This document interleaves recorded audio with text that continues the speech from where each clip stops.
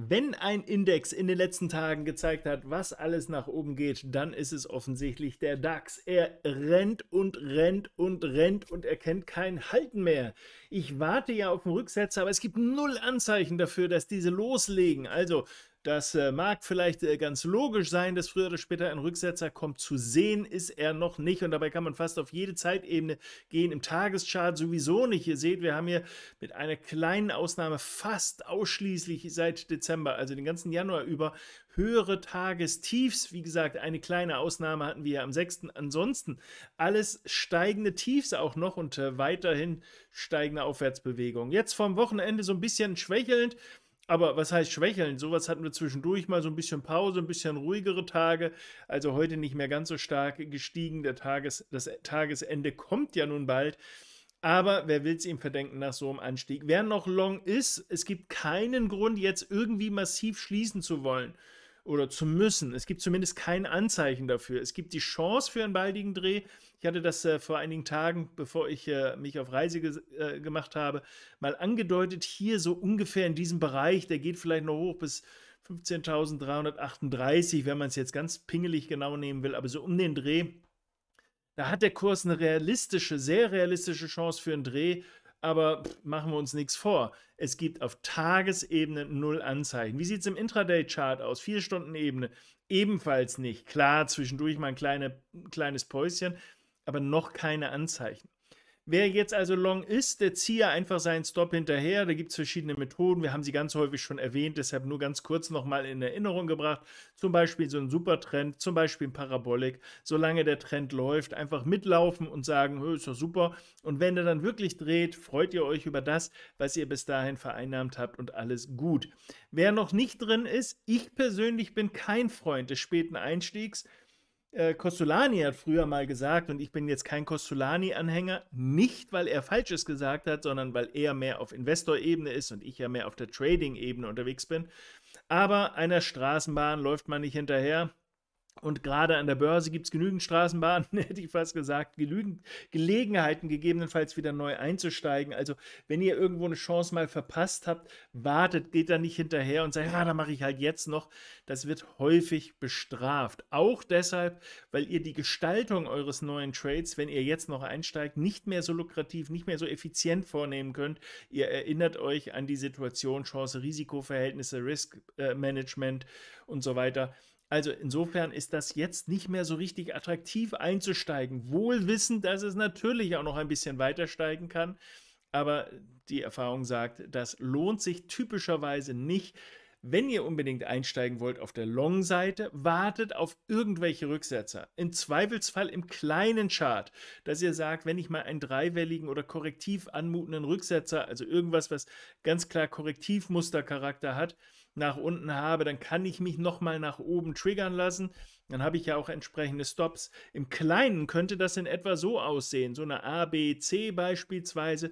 Vielleicht sogar, das würde ich gar nicht so außergewöhnlich finden, so ähnlich groß wie das, was wir hier haben. Wenn sich hier mal sowas ergibt und der Kurs dann zum Beispiel na, idealerweise waagrecht diese Marke dann nach oben nochmal durchstoßen wird, dann ist die Chance natürlich schon relativ groß an dieser Stelle, dass wir dann auch das hoch nochmal durchstoßen und ein gutes Stück weiterlaufen. Wie viel weiter ist allerdings bei solchen Späteinstiegen äh, immer sehr schwer zu sagen. Typischerweise, naja, so ein Fünfweller hätten wir dann auch schon so halbwegs fertig. Und damit wäre auch diese gesamte Aufwärtsbewegung, die ja auch schon so halbwegs was Fünfwelliges hat hier, ähm, durchaus dem Ende entgegen und dann käme eine Ebene größer vielleicht die nächste Korrektur. Also für die längerfristigen unter euch, das wäre etwas, was ich erwarten würde im längerfristigen Bild. Für die kürzerfristigen natürlich ohne Probleme 4 Stunden Chart oder 15 Minuten oder noch kürzer. Wenn ihr da entsprechende Verhaltensmuster seht, dann entsprechend nutzen. Jetzt Short gehen, also auf gar keinen Fall, auch wenn ich diesen Rücksetzer erwarte, wir gehen nie früher, als es tatsächlich losgeht. Natürlich verpasst man dann immer ein bisschen, aber wer will denn an der Stelle jetzt Short gehen? Für einen Short müsste das für mich so aussehen beispielsweise, egal wie lang. Das äh, spielt eigentlich überhaupt gar keine Rolle, ob das, nee, genau so nicht, das sieht zwar buntig aus, ob das so aussieht, ob das so aussieht oder von mir aus, ob das so aussieht. Also in welchem Chartfenster, das könnt ihr euch raussuchen, welche Zeitebene ihr am liebsten handeln wollt oder könnt, wie aktiv ihr sein wollt. Wenn es eine starke Bewegungsrichtung gibt und jetzt, das ist ganz wichtig, als nächstes etwas Korrektives hier folgt. Irgendwie was Korrektives hier folgt oder von mir aus auch dreiwellig korrektiv hier folgt. Das sind alles typische Anzeichen dafür, dass äh, es nach oben eher korrektiv, also eher eine Pause ist.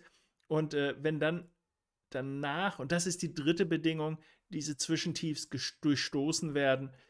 Diese Zwischentiefs, das sind dann meine entsprechenden Short-Einstiege. Also ich finde Short durchaus super. Ich finde die große Größe, die ich jetzt hier gezeichnet habe, die stelle ich mal in Frage. Das ist nicht mein favorisiertes Bild, kann aber passieren.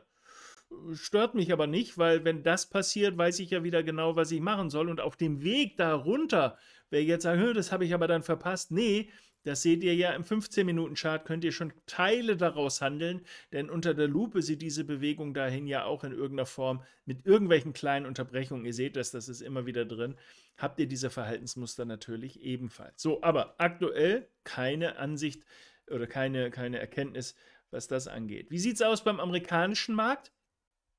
Haben wir schon angedeutet, eigentlich wäre das mein favorisiertes Bild, dann müsste der Kurs hier so langsam aber sicher drehen und wer jetzt sagt, ja, siehst du, völlig falsch, ja, ist aber nicht schlimm, weil Trigger ist ja die Unterseite.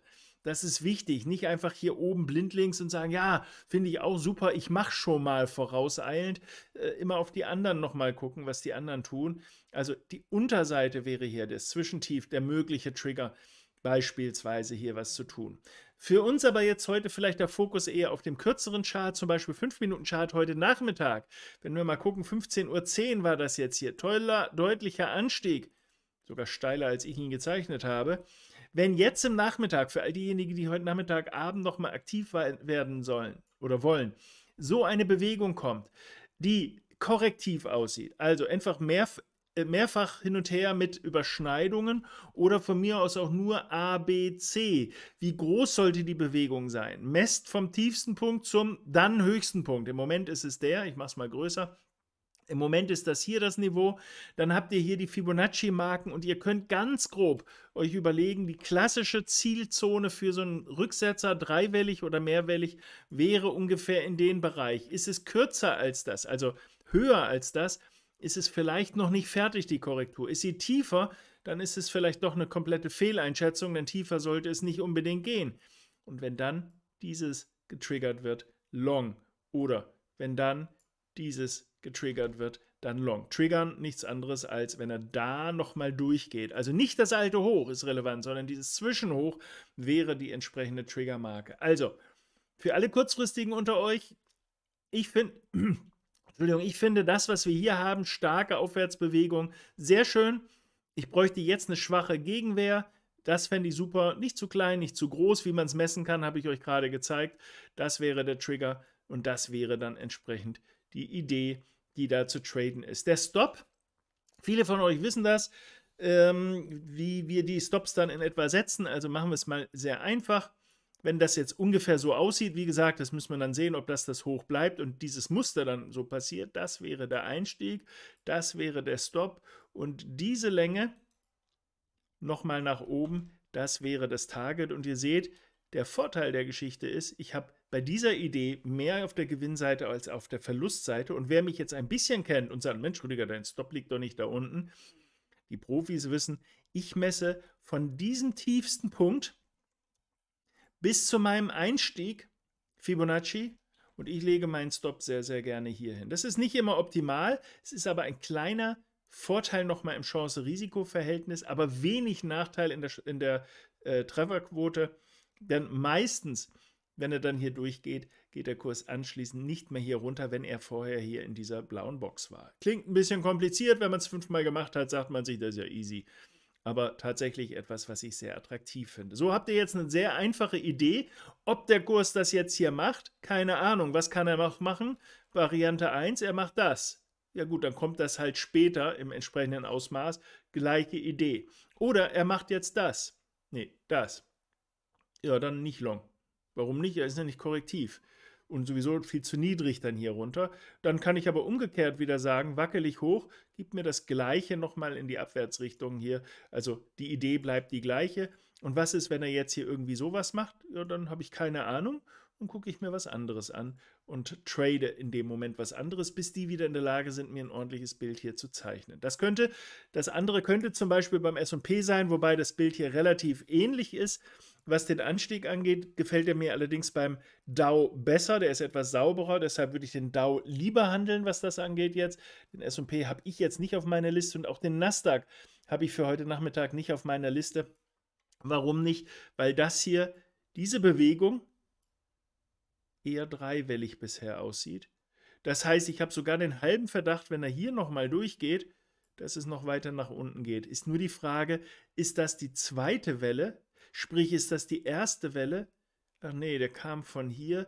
Also ich habe keine Klarheit, wie tief das geht, aber spätestens, wenn das hier passiert, eher noch weiter abwärts die, das Ganze zu handeln und nicht eher aufwärts.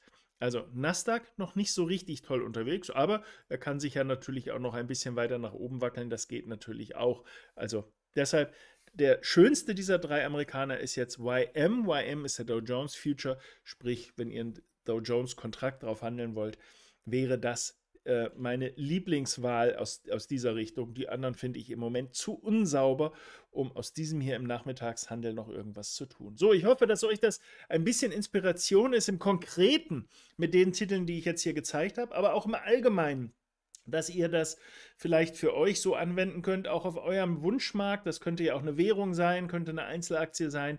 Das Prinzip bleibt ja immer das gleiche. Euch jetzt erstmal alles Gute. Ein wunderschönes Wochenende. Vorher noch mal ein paar tolle Gewinne und nächste Woche hören wir uns wieder. Bis dann. Ciao, ciao.